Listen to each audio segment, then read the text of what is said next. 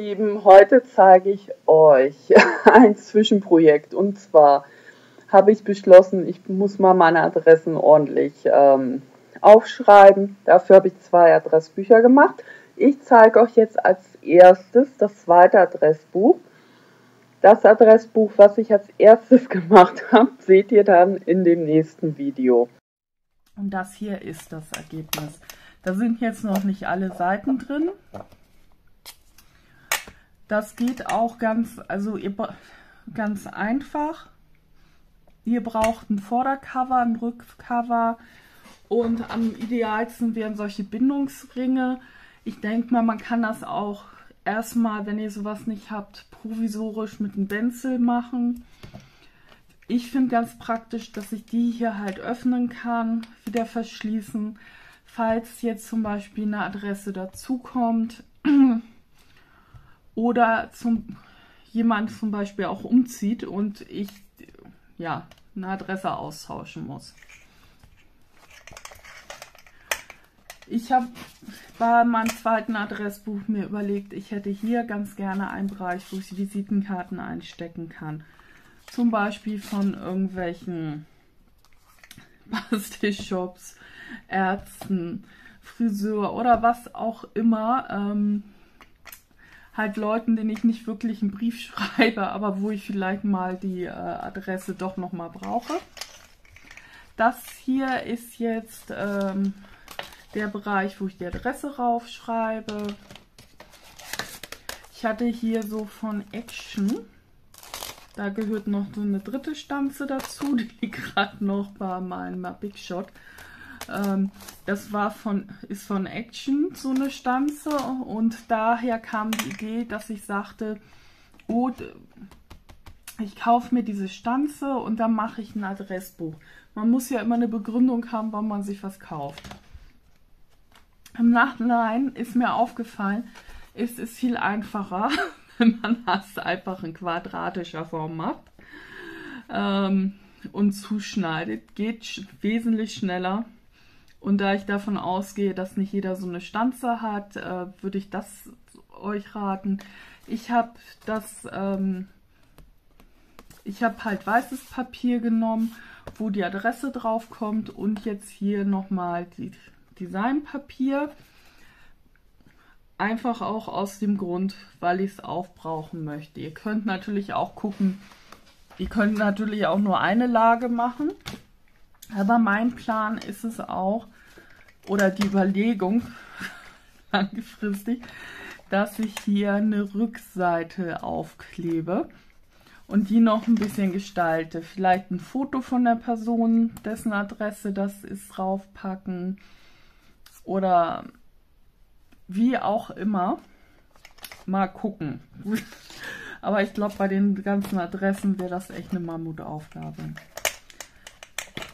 Hier ist so, hier die Rückseite habe ich auch wieder Platz für Visitenkarten.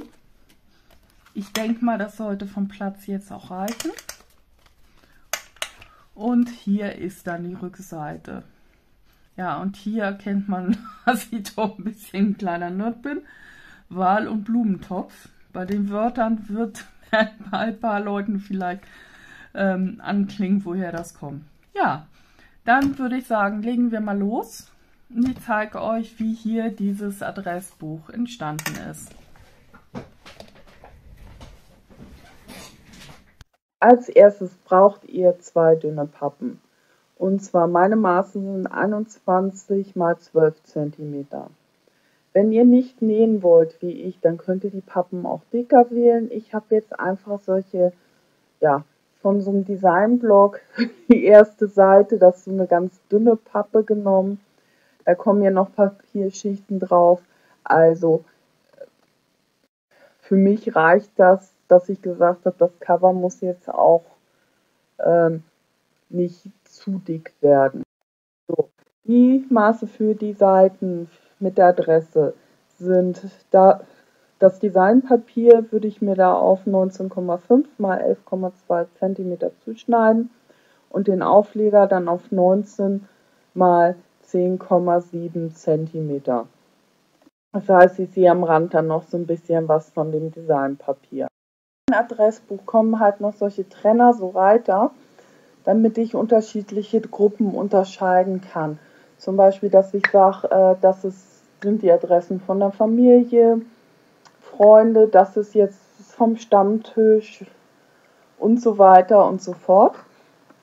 Und für die, diese Reiter habe ich dann 20,5 mal 11,5 cm gewählt, damit die halt nicht rausgucken. Und das ist halt auch der Grund, warum ich das Cover dann größer gewählt habe, ein bisschen als diese Adressseiten, damit ich da noch besser äh, gucken kann, wo sich welche Adresse befindet. Dann jetzt zu dem Part, woran ich da gerade arbeite. Und zwar, ich habe jetzt Papier, das ist vor allem Drucke von der Geliplate, vor allem Testdrucke. Also wenn ich zum Beispiel neue Farbe habe, deswegen sind da auch Notizen teilweise auf dem Blatt drauf, dann teste ich die ganz gerne an der Geliplate, einfach um zu gucken, wie die Konsistenz ist. Ich habe da so ein paar, sage ich mal, Standardtechniken, die ich halt habe und möchte wissen, funktioniert das damit, funktioniert es nicht. Und da ich das auch dann eher zu Testzwecken sehe, habe ich dann auch öfters mal, ähm, dass ich dann eher die kleine Geli Plate dafür nehme. Das heißt, die, Papier, die Papiergröße, die dabei rauskommt, ist halt kleiner. Es reicht jetzt nicht für eine 9er Serie ATC, eher für eine Karte und Reste. Und damit der Hintergrund auch nicht ganz zu wuselig wird, habe ich entschieden jetzt hier auch, dass ich halt Streifen aufklebe und dass die auch nicht zu dünn werden. Aber ich wollte halt schon so einen bunten, knalligen, fröhlichen Hintergrund haben. Da habe ich mir schon die erste Rückseite rausgesucht. Was ich jetzt mache, ich wollte ganz gerne noch ein Webband ergänzen. Und zwar ist das hier so ein für mich so ein besonderes, weil das habe ich in Schottland gekauft in so einem ganz kleinen, süßen Laden. Die hat sich auch so super gefreut, dass ich da, ich habe ein paar Gorgia-Stempel gekauft und Bänder. Und ich dachte schon, sie muss mit mir wieder diskutieren, dass nicht die, das ganze, also die ganze Spule so viel kostet, sondern Meter. Und ich so, ja, ist klar, alles supi. Und die war echt glücklich, als sie rausge als ich dann da gekauft habe. Und ich war auch glücklich. Und mich freut es jetzt, dass dies, was für mich ein besonderes Band ist, auch zum Einsatz kommt. Oh, ich habe ja da noch ein bisschen was, das werde ich dann auch für andere Projekte noch einsetzen. So sieht das jetzt aus, nachdem ich an der Nähmaschine war.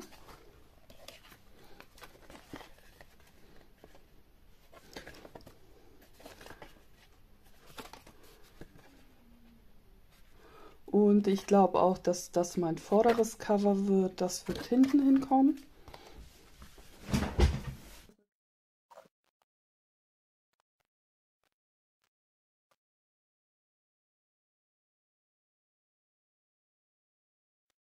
Das ist ein Papier, was die Cover-Innenseite wird.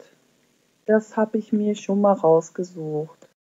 Da hatte ich kurz geguckt, ob das passt, habe das aber wieder verworfen, weil ich brauche ja noch Papier für die Taschen und habe mich dann für ein anderes entschieden. Und zwar hier das blaue und so, ein, so ein, sag ich mal, ganz dunkelrot, was leicht so ins Lila geht. Sieht jetzt noch ein bisschen gewagt aus, aber ich glaube, die Kombi wird wirklich gut aussehen schneide mir jetzt mein Papier zu und da muss ich auch so ein bisschen grübeln, weil das ist jetzt ja auch mein erstes Adressbuch.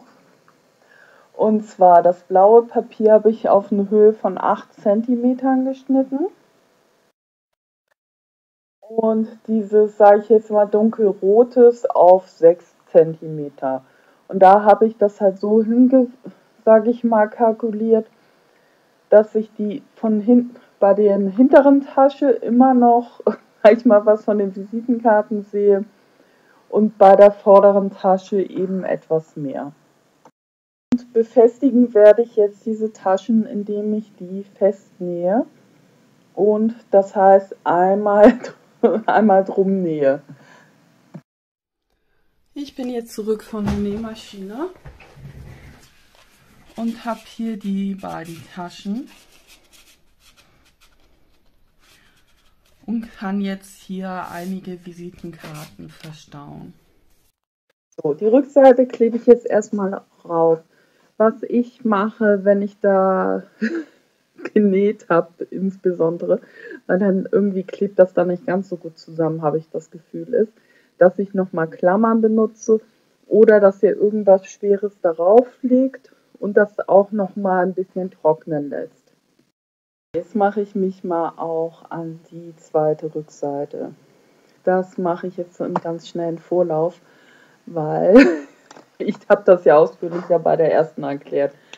Das heißt, ich suche mir jetzt Papier aus. Ihr seht, das sieht im Moment noch nach gar nichts aus.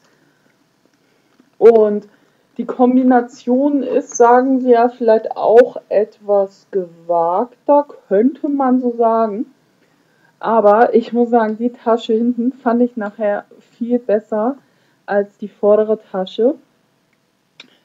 Und damit gehe ich dann auch gleich an die Nähmaschine.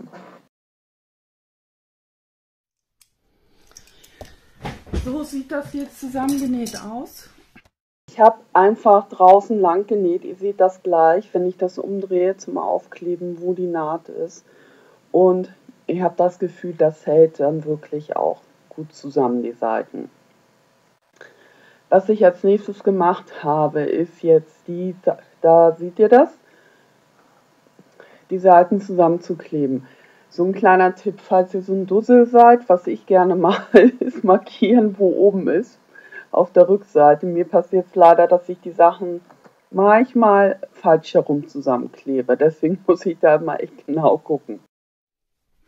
So, da ich ungeduldig bin und jetzt nicht ewig warten möchte, bis das getrocknet ist, bin ich doch noch mal am Rand mit der Nähmaschine rumgegangen.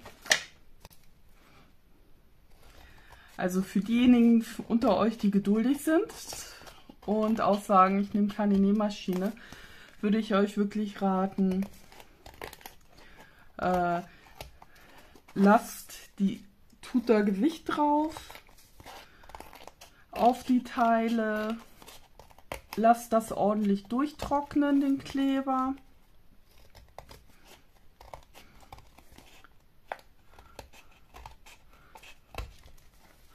Bevor ihr weiterarbeitet. Und wenn ihr ungeduldig seid wie ich, geht das auch natürlich, indem man das Ganze dann fest, zusätzlich festnäht. Jetzt weiß ich, dass das nicht auseinandergeht. So, ich habe mir jetzt halt auch gesagt, so rum möchte ich das Ganze haben. So, da ich ja immer töffelig bin bei sowas, habe ich dann noch zwei, dreimal kontrolliert, da ist das richtig rum, wollte mir das ausmessen, habe die Löcher reingemacht und dann habe ich gemerkt, ich habe aber einen Fehler gemacht. Willkommen bei Fuschen mit Sonja. Was das ist, erzähle ich euch gleich. Und zwar ist mein Fehler, das ist ja Adressbuch Nummer 2. Adressbuch Nummer 1 seht ihr da. Ich werde euch das übrigens auch nochmal zeigen, wie das entstanden ist. Ähm, ja, und ich wollte natürlich ganz gerne, dass ich die Adressen hin und her chinchen kann. Falls ich jetzt zum Beispiel merke, so, ich tausche eine ganze Adressgruppe aus und ich auch noch gar nicht weiß, welche Adressen in welches kommen und so weiter.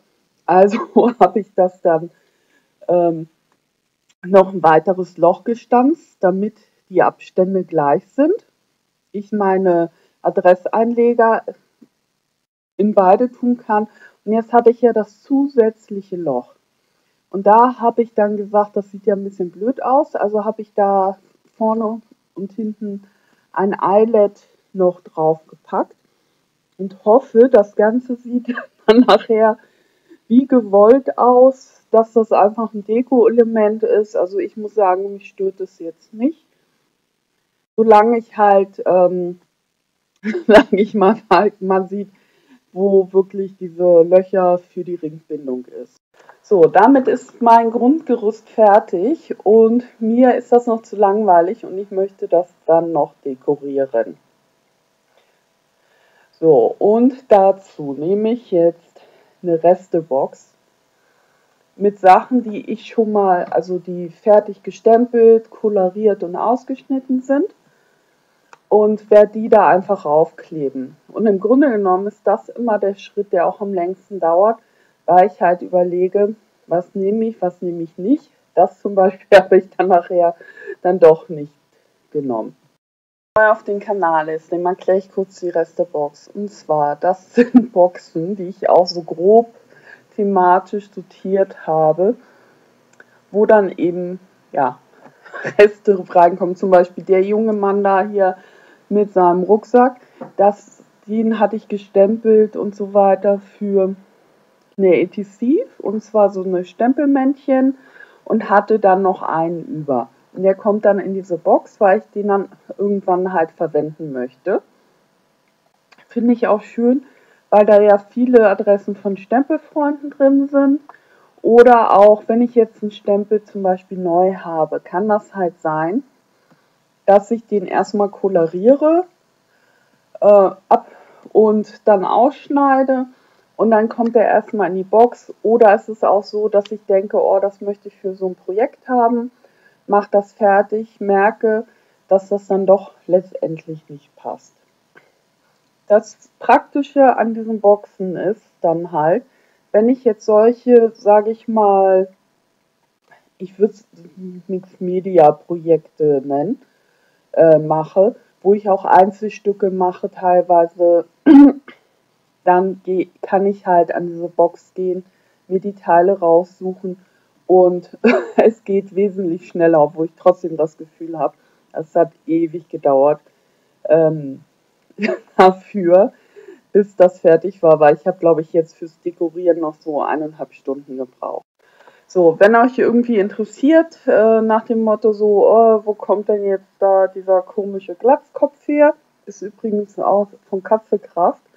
Dann schreibt mir das einfach in den Kommentaren. Dann versuche ich nochmal nachzugucken, welche Firma das ist äh, wie das Set heißt.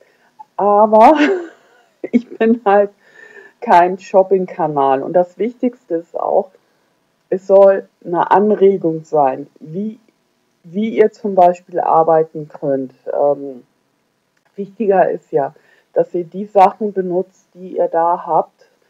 Und ähm, es soll ja nicht der Zweck sein, dass sie jetzt sagt, oh, jetzt muss ich mir aber genau die Stempel kaufen, die sie im Video benutzt. Das ist ja nicht Sinn der Sache. Das kleine Partymonster finde ich auch echt knuffig. Also ich klebe jetzt einfach diese Figürchen auf, weil ich dachte, auch wenn das jetzt Visitenkarten vorne ist zum Geburtstag, gibt es ja immer Post. Und gucke einfach so, was mir da gefällt. Wobei ich auch schon sagen muss, also da war ich wirklich ein bisschen unstrukturiert. Das hat mir nicht ganz so gut gefallen wie nachher die Innenseite von dem Cover. So, auch für die neuen, genauso wie ich jetzt diese Resteboxen habe für Stempel, Standsteile und so, habe ich auch eine Texte-Reste-Tüte, beziehungsweise mehrere Tüten, wo dann Texte halt drin sind. Die benutze ich dann jetzt auch für die Projekte. Bei der Möwe steht jetzt, despite the look on my face, I'm still of good cheer. Und, und die guckt ja eh so ein bisschen betröppelt und dann kriegt sie noch so einen Toilettenpömpel auf den Kopf. Die Alice kriegt auch noch einen Text und zwar, aber den übersetze ich auf Deutsch, ich kann das nicht aussprechen auf Englisch. Und zwar neugierig und neugieriger. Finde ich nämlich auch ganz schön. Den Text habe ich da aus diesem Alice-Ticket ausgeschnitten. Das habe ich bei Vectorien Design ähm, gekauft, meine ich. So, jetzt kommen hier wieder meine geliebten Glotzis. Und zwar, die sind von Acapella, einer kleinen feinen Stempelschmiede. Und ich liebe diesen Stempel mit diesen drei Viechern. Wenn ihr meinem Kanal folgt, habt ihr, die, habt ihr die auch bestimmt schon gesehen an der einen oder anderen Stelle. Und ich habe mir auch gesagt, das Album ist ja sowieso für mich. Und ähm, bei den Projekten, die für mich sind, da kann ich die dann auch, wie ich lustig bin, so oft einsetzen, wie ich möchte. So, bei diesem, der an Herr der Ringe erinnern möchte, soll, Figur, der hat nämlich zwei Stempel in den Augen. Und der kriegt den ähm, Text in My Defense I was left unsupervised. Also in meiner Verteidigung, ich war unbewacht. Und dann hat er sich nämlich ganz viele Stempel gekauft bei einer Messe. So, ich habe den Text, wie ihr seht, dann noch auf schwarzes Papier geklebt und noch einen weißen Rahmen gemacht. Und jetzt zeichne ich noch so eine Aufhängung mit zwei Schleifen, damit der Text da nicht einfach ähm, im Raum schwebt, sondern ja, wie bei so einem Theaterstück hingehängt ist.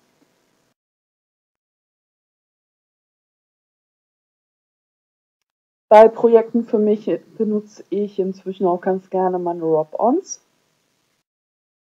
Hier seht ihr, ich benutze auch dafür das Werkzeug der Natur, und zwar meine Fingernägel. Eigentlich sind da teilweise solche Art Eisstiele dabei, mit denen man das aufbringen kann, aber bei denen klappt das normalerweise auch ganz gut mit den Fingernägeln. Und da gucke ich dann halt, wo mir dann noch was fehlt. Ich hatte jetzt da links bei der Alice, wollte ich noch gerne eine Zahl haben. Und damit ist jetzt auch tatsächlich mein vorderes Cover fertig und ich kann mich jetzt nochmal um die Rückseite kümmern. So, ich habe dann mich entschieden für den Text Alles billiger als ein Psychiater. Den habe ich auf Vellum embossed. Das Problem bei Vellum ist, man sieht halt den Kleber durch. Ich konnte das jetzt hier nicht festtackern. Also, und deswegen habe ich jetzt da hier noch so Masking-Tape drüber gemacht finde auch, ist jetzt nicht meine beste Arbeit. Habe da jetzt auch noch einen Rahmen gemacht. Ähm, aber es muss ja auch nicht immer alles perfekt werden. Ich habe da auch noch so, so ein kleines Ticket hingeklebt, damit da irgendwie so ein Gegenpart zu der Blume ist. So, der Blaubereich war mir noch ein bisschen zu langweilig. Deswegen habe ich jetzt so einen einfachen Spiralstempel rausgeholt. ich habe an meinem Arbeitsplatz so eine Box mit ein paar Hintergrundstempeln. Habe dann das Archival Ink Stempelkissen genommen, weil das ja halt so mit Acrylfarbe ist der Hintergrund.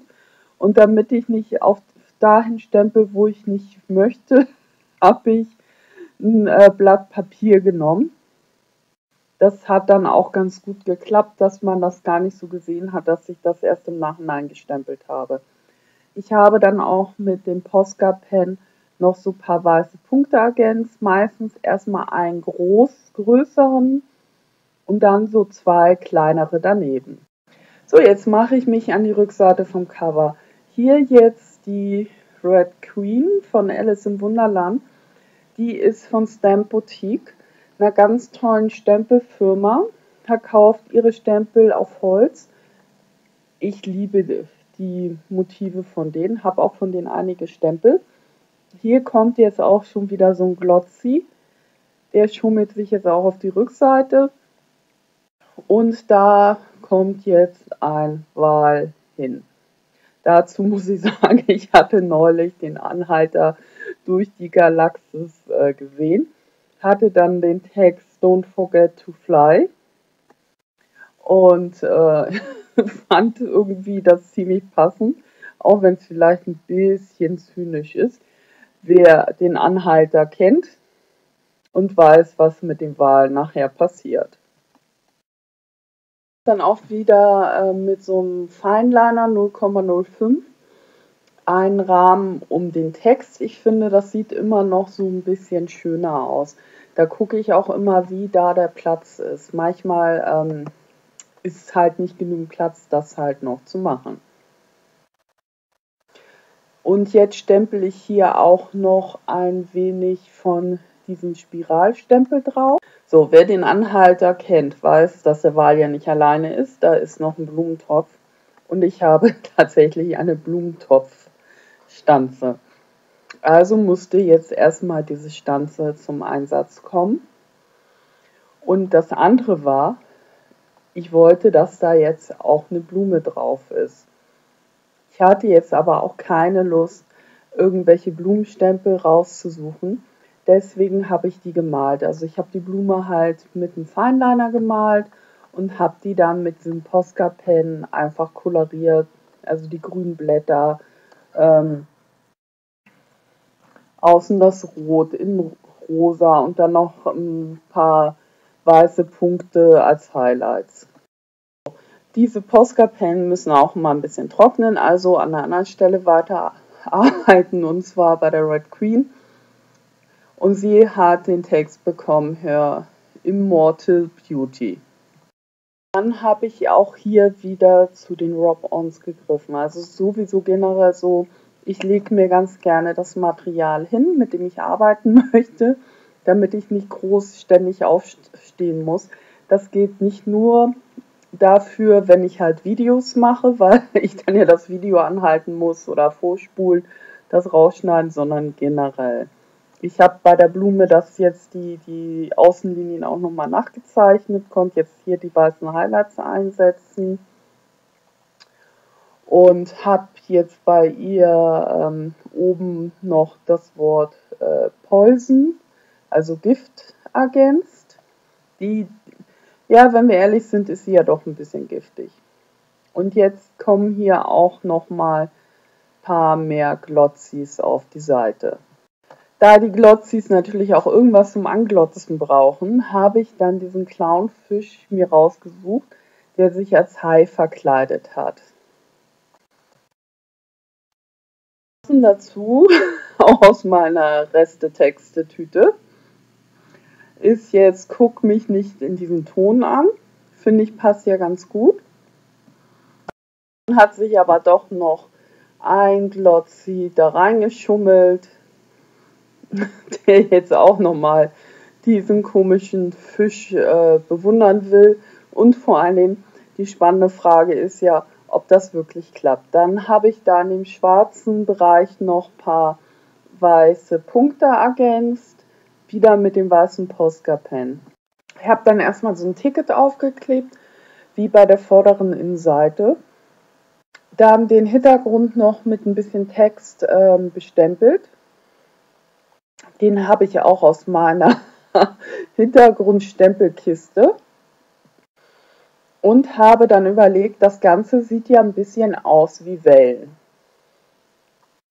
Und deswegen habe ich dann beschlossen, da kommt oben so ein Fisch hin, der da so, sage ich mal, rauslugt. Habe dann auch geguckt, was ich noch habe. Hier ist auch so ein ähm, Papierbötchen was auf der obersten Linie halt schwimmt. Und ich habe da den Hai, also von denen hatte ich mir mal, als ich Zeit hatte, einige ähm, abgestempelt, wollte damit auch noch was machen, habe ich noch nicht geschafft. Deswegen sind die in die Restebox gekommen. Und auch hier kommt jetzt der Clownfisch mit seiner Hai-Tarnung drauf. Und noch guckt ja der Hai ganz freundlich. Ich finde der Clownfisch so ein bisschen bedröppelt. Und ja, mal sehen, was dann passiert, wenn die beiden aufeinandertreffen. Ich habe dann halt auch so ein bisschen was äh, ausprobiert, habe dann wieder meine Reste, Texte, Tüte, wie ihr seht, rausgeholt. So, ich habe mir dann da was rausgesucht. Und zwar fand ich der Spruch Rebell passt halt wirklich gut, weil nämlich, find, so finde ich das, der Clownfisch echt ein Rebell ist. der schleicht sich jetzt da bei den Haien unter. Wie ihr seht, habe ich da wieder aus so einem Rahmen gezeichnet, fand aber, dass der Text so ein bisschen untergeht, deswegen habe ich die nochmal auf so ein orangenes Papier geklebt. War jetzt vom Farbton nicht ganz ideal, sage ich mal, aber okay. So, ich habe gemerkt, der Hintergrund war mir ein bisschen zu dunkel, also habe ich noch Punkte ergänzt, immer in so einer Dreier-Serie. Und bevor ich da bei der mittleren Tasche die Punkte machen wollte, habe ich gesagt, klebe ich erstmal den Text auf. Und zwar, just because my past is different doesn't mean I'm lost. Also auf Deutsch wäre das, ähm, nur weil mein Weg ein anderer ist, bedeutet es nicht, dass ich verloren bin finde ich, passt auch ganz gut zu dem Clownfisch, der ja irgendwie doch etwas anders ist als seine Kollegen, wenn er sich da unter die Haie schummeln möchte. Und dann habe ich da oben auch noch die weißen Punkte weiter ergänzt. So, meine beiden Coverseiten sind jetzt fertig. Was mir jetzt noch bleibt, ist in meine äh, Seiten für mein Adressbuch die Löcher reinzubringen. Da ist es halt ganz gut, wenn ich dann ein Muster mir mache. Also dass ich jetzt zum Beispiel das halte ich ran, dass das möglichst mittig ist. Und ähm, da empfiehlt sich, kann ich entweder das machen, dass ich dann halt das Werkzeug da so ranhalte oder eben mir dann ja einen Punkt zeichne, wie ich das jetzt hier mache, weil ich merke, durch das Eyelet komme ich da gar nicht richtig ran mit der Maschine mehr. Und das wird jetzt mein Muster, damit ich bei allen anderen von den Einlegerseiten mir auch diese Löcher rein stanze, damit das halt einigermaßen ordentlich aussieht, wenn die in dem Album drin sind. Das war jetzt so ein kleines Zwischenprojekt, weil ich gemerkt habe, ich habe doch keine Lust, die ganze Zeit nur ein Backbuch zu bauen, sondern habe im Moment halt auch noch so ein paar andere Ideen. Ich zeige euch auch noch dieses erste Adressbuch, wie das entstanden ist. Und es geht dann auch versprochen weiter mit dem Backbuch. Da bin ich auch noch nicht ganz durch. Ich danke euch schon mal fürs Zuschauen. Schön, dass ihr reingeguckt habt. Und wie ich vorhin auch erwähnt habe, jetzt, falls ihr, ich gehe davon aus, ihr habt die Stanze nicht, dann schneidet euch einfach hier rechteckig eure Seiten aus. Ich hoffe, das Video hat euch gefallen. Über jeden Daumen nach oben freue ich mich. Genauso, wenn ihr den Kanal noch nicht abonniert habt, geht auf Abonnieren, damit ihr auf den Laufenden bleibt. Ja, und wenn ihr noch Fragen habt, Anregungen oder Wünsche, hinterlasst mir gerne einen Kommentar. Ich versuche da auch möglichst zügig drauf zu antworten. Und ich hoffe, dass wir uns dann bald wiedersehen. Tschüss.